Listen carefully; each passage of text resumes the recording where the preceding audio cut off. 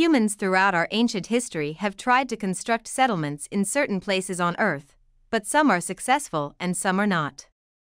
Some thriving settlements are eventually abandoned for many reasons.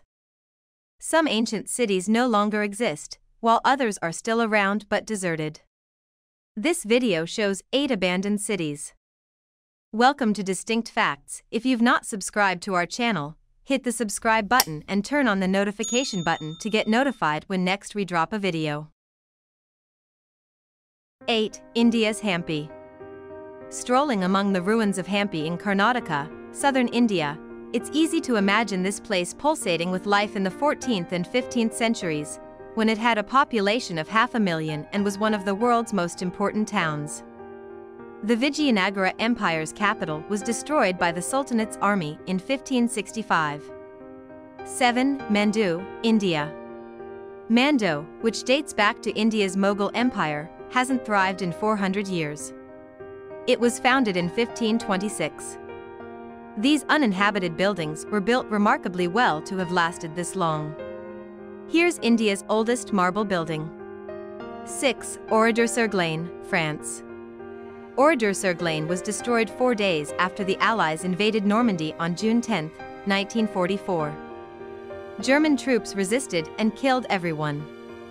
After the war, Charles de Gaulle opted not to rebuild Oradour-sur-Glane. Original village remains stand as a memorial to the dead.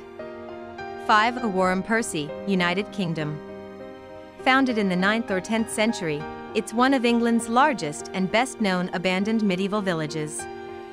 It had two stately mansions and a church in the Yorkshire Wolds. Archaeologists have spent over 60 years developing new ways to understand village life and why it was abandoned. 4. Belchite, Spain. Belchite dates to 75 AD. It has many medieval churches and antiquities. During the Spanish Civil War of 1936 to 1939, Belchite was on the front lines between Republican and fascist forces and was the site of one of the fiercest fights. General Francisco Franco's army demolished Belchite in 1939 to show regime enemies what would happen. The debris, houses, and bullet-riddled cathedral are daily reminders of battle. 3. Craco, Italy.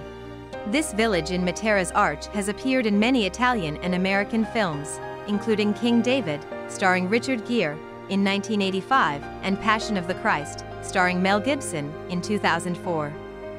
Massive immigration to North America in the 1920s, followed by a landslide, flood, and earthquake, left no residents by 1980. 2. Kolmanskop, Namibia. Early 1900s diamond hunters flocked to Kolmanskop. Because most miners were German, a German-style community arose. By the 1950s, this mining community had declined due to World War I and a nearby diamond mine. De Beers operates the tourist town. All that sand is from a geological upheaval, making the town's revival doubtful.